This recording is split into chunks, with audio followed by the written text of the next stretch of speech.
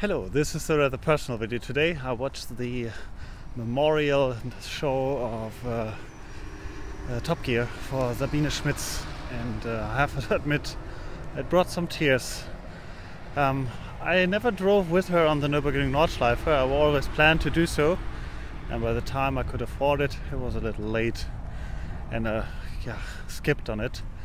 But uh, in hindsight, seeing those nice um, snippets out of the shows she had on Top Gear and some other, let's say, memories, driving memories she accomplished on the Notch Nordschleife. It was touching. It's sometimes weird that people so far away still have such an impact on us in hindsight.